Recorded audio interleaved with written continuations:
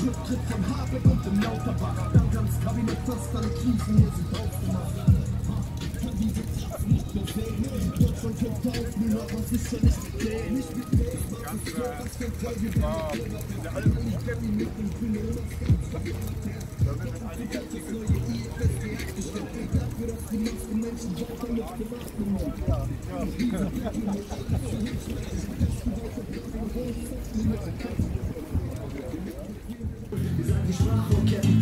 Ja, liebe Leute, wir gehen wieder für bezahlbare Mieten auf die Straße. Wir gehen für ein bezahlbares Leben auf die Straße und hoffen, dass sich uns irgendwann mal ganz, ganz viele anschließen.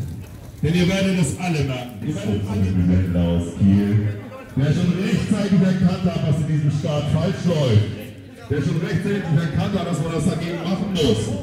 Und uns immer in Sachen unterstützt hat. Ein Danke dafür. Danke. Und es geht wieder los.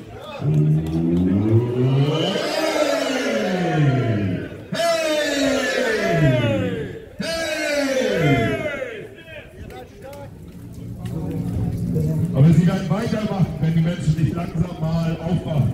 Die Bauern haben angefangen. Die haben angefangen, sind auf die Straße gegangen und es wird Zeit, dass die anderen mitkommen. Dass die Bürger mitkommen, dass die Unternehmer mitkommen, dass die Handwerker mitkommen. Die haben sie jetzt auch schon geschnasselt. Die sind auch dabei. Unternehmer auch. Vorbetriebe, alle dabei. Wo seid ihr? Dann sage ich an dieser Stelle einfach mal Hallo Kiel! Hallo schön, dass ihr alle hier seid. Und schön, wenn ihr zuhört. Heute, heute am 13.01.2024 sind Tausende von Bauern, Handwerkern, Unternehmern aus kleinen und mittleren ähm, mittelständischen Unternehmen auf dem Flughafen Hungriger Wolf, um zu protestieren. Sie kommen aus ganz Schleswig-Holstein, zum Teil auch weiter her. Gestern war hier in Kiel die Bauerndemo, die hat, glaube ich, jeder mitgekriegt vom Bauernverband. Und schon am 8.1. haben wir für den Kieler Gelbwesten eine Demo gemacht mit Handwerkern, Unternehmern und den Bauern. Es sind große Tage, weil sich die Menschen zusammenschließen, weil endlich mal sich Einigkeit ergibt und alle sind sich einig, das Leben in Deutschland wird einfach zu teuer. Das wollen wir so nicht. Es sind Menschen hier, die hier stehen bleiben, die etwas begriffen haben, die auch begriffen haben, dass wir alle gemeinsam zusammen etwas bewirken können und anders nicht. Das Agrardieseldilemma und die Kfz-Steuer auf landwirtschaftliche Fahrzeuge und Anhänger ist nur ein kleiner Teil einer mittlerweile schier endlosen Forderungsliste. Tatsache ist, die heimische Landwirtschaft ist das Rückgrat unserer Gesellschaft und das Rückgrat unserer Versorgung. Ohne unsere Bauern gibt es kein Brot und ohne unsere Bauern gibt es nicht mal Bier. Und ist der Bauer ruiniert, dann wird das Essen importiert. Und wir wissen alle, im Ausland haben die weit geringere Standards als wir hier. Da müssen wir hochbelastete Nahrungsmittel kaufen und Fleisch von Tieren, die künstlich mit Steroiden hochgezüchtet wurden. Und auch das wollen wir nicht. Und man glaubt kaum, was im Ausland für Pestizide ausgebracht wird. Da geht auch noch DDT auf die Felder, was bei uns schon seit Jahrzehnten verboten ist. Das gibt kein Bier ohne Bauern. Unglaublich. Tatsache ist auch, dass die mittelständischen Unternehmen in Deutschland der größte Arbeitgeber sind, den wir haben. Eigentlich müsste ich sagen, es war der größte Arbeitgeber, denn aktuell gehen immer mehr kleine und mittlere Unternehmen in die Pleite und die großen wandern ab ins Ausland. Auch da bleiben Arbeitsplätze übrig, beziehungsweise die Arbeitnehmer bleiben übrig und gehen in die Arbeitslosigkeit. Tatsache ist auch, dass die Preissteigerungen aktuell schon ein nahezu unerträgliches Ausmaß angenommen haben. Bereits jetzt müssen viele Mitbürger ihren Gürtel deutlich enger schneiden. Viele handwerkschaftliche Betriebe sind heute oder waren mit am Start und sind heute auch auf dem Flughafen Hungriger Wolf am Start, weil ihre Auftragsbücher von Tag zu Tag leerer werden, die Kosten, die sie tragen müssen, von Tag zu Tag höher. Ja, stimmt. Ich habe heute mit einem Wirtschaftswissenschaftler gesprochen gerade. Der erzählte mir, die Bundesregierung rechnet mit einer Preissteigerung in den nächsten Monaten von 25 Prozent aufgrund der Mauterhöhung und so weiter und so fort. Er meint allerdings, das ist glatt gelogen. weil wir werden noch weiterhin eine Preissteigerung im Gegensatz zu End-Corona, wo die Preise schon definitiv höher waren als bisher, eine Preissteigerung von nochmal 100 Prozent haben. Darüber müssen wir mal nachdenken. Ich weiß nicht, wer sich das noch leisten kann, aber so wird es weitergehen. Nicht vergessen darf man dabei auch, dass die großen Ketten wie Lidl und Aldi, die haben Langzeitverträge auf die Preise. Das heißt, da schlägt es nicht so schnell durch wie bei den kleineren Geschäften. Die werden als erstes ihre Türen schließen müssen. Und wenn es bei den Großen ankommt, dann ist Kacke am Dampfen, weil dann haben wir die Kleinen schon lange nicht mehr und die Preissteigerung ist bei jedem da. Wir leben nicht mehr in einer Zeit, in der wir es uns leisten können, auf dem Sofa zu sitzen und zu hoffen, dass der Kelch an uns vorübergeht. Diese Zeit ist vorbei. Definitiv ist die vorbei.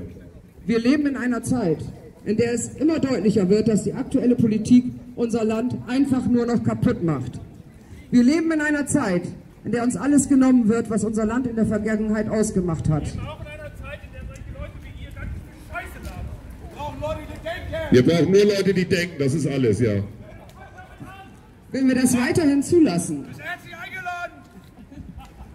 werden wir Lebensmittel serviert bekommen, die unseren bisherigen Standards nicht genügen. Werden wir keine Handwerker mehr vor Ort haben, die zeitnah für uns tätig werden können. Wir werden auch keine Ärzte mehr vor Ort haben, denn ein hoher Prozentsatz begibt sich in Kürze altersbedingt in den Ruhestand. Wir sind auch jetzt schon nicht mehr das Land der Forschung und Innovation. Beim Wirtschaftswachstum haben wir es unter den G20-Staaten innerhalb kürzester Zeit von, auf Platz 20 von 20 geschafft. Wir zahlen im EU-Vergleich die höchsten Abgaben auf unser Bruttogehalt und unsere Rentner bekommen im Vergleich mit vielen anderen EU-Staaten deutlich geringere Renten. Aber unser Land mit dieser Regierung hat auch etwas Gutes. Schließlich kümmern wir uns um Unisex-Toiletten in Nigeria. Mit 4,6 Millionen Euro um grüne Kühlschränke in Kolumbien. Mit fast 8,2 Millionen Euro um emissionsarme Reiserzeugung in Thailand. Mit fast 6,2 Millionen Euro um Wohngebäudesanierung in der Mongolei.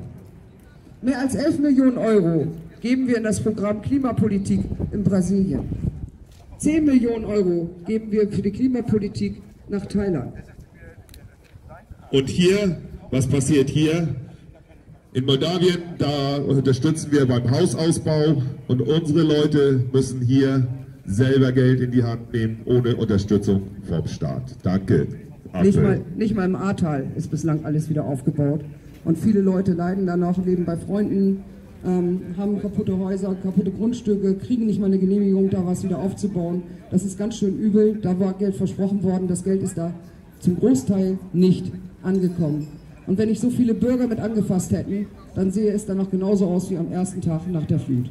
Ja, der Büro Bürokratiemaloch ist das. Mehr ist das nicht.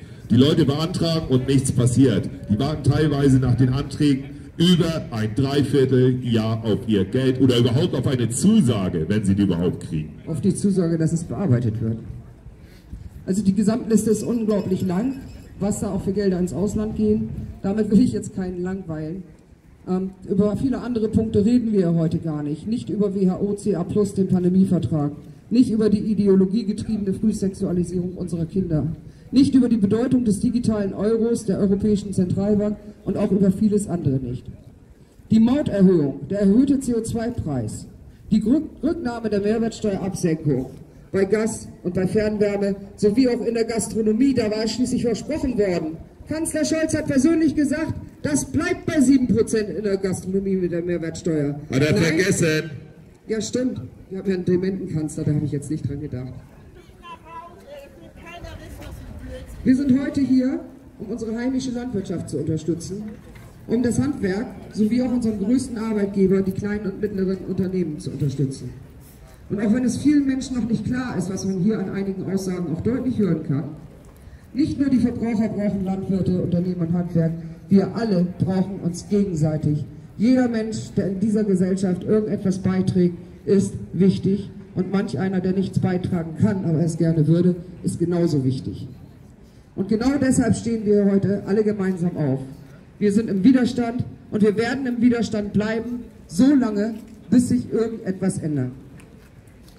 Wir hatten noch, wir hatten noch nie eine Bundesregierung, die die Wähler und die Bürger so dermaßen ignoriert hat und über deren Köpfe hinweg entschieden hat, wie jetzt unsere Hampel-Ampel-Koalition. Und wir wollen auf keinen Fall die Demokratie abschaffen. Wir stehen dahinter, wir stehen auch zur freiheitlich-demokratischen Grundordnung. Das ist uns wichtig, das liegt uns am Herzen. Aber wir möchten eben auch, dass die Werte der Demokratie, der Demokratie erhalten bleiben. Dazu gehört Meinungsfreiheit. Ganz, ganz wichtig. Und die wird gerade versucht zu unterdrücken. Wir sind die Kieler Gelbwesten. Wir sind keine Partei, kein Verein, keine Organisation, sondern einfach nur Menschen, wie jeder andere auch, der hier vorbeiläuft. Wir sind in der Lage, auf Augenhöhe miteinander zu reden. Wir haben aufgehört zu spalten und das ist gut so. Ich danke euch fürs Zuhören. Und wer Lust hat und die nächste Großveranstaltung von uns unterstützen möchte, kann gerne was in unseren Spendentopf packen. Schönen Dank und ich wünsche euch allen ein schönes Wochenende. Und diese nächste Großveranstaltung ist übrigens am 27.01. wieder komplett mit Treckerkorso, mit Unternehmern, mit Bürgern, die es begriffen haben, was hier passiert in Deutschland. Und wir hoffen, dass wir wieder ganz viele werden. Damit diese Ampel, diese Hampelampel, wie gerade eben gesagt wurde, es endlich merkt, dass die Bürger es langsam verstehen, dass wir in Berlin fast ausschließlich Verbrecher in der Regierung haben. Danke.